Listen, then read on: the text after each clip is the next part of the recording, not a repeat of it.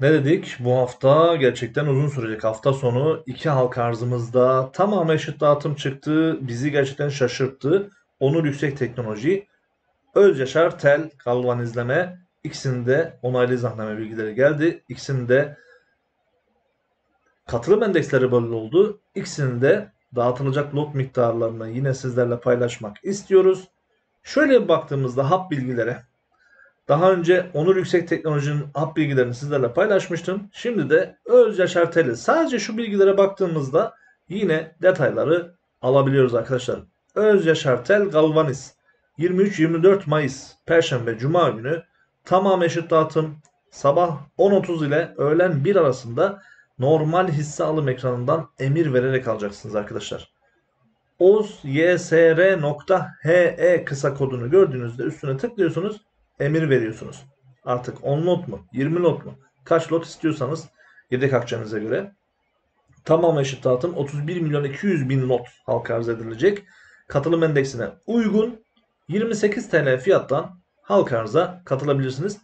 Unutmadan söyleyelim bakın.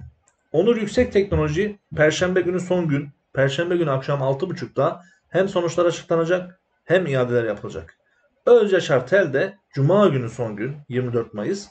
Onda da akşam 6.30'da hem dağıtımlar gerçekleşecek hem de iadeler anında gerçekleşecek.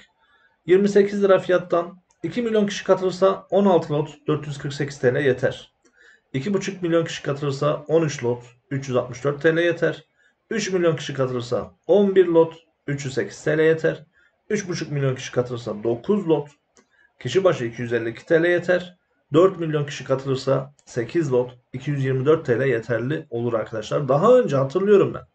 Tamam eşit dağıtımlarda 150-200 TL'lik dağıtımlar olmuştu. Hangisi olduğunu hatırlamıyorum ama 150-200 TL'lik dağıtımları görmüştük. Bunda da ben hani 3 milyon kişiyi öldürmez diyorum. En az 3 milyon katılım olur. 308 TL.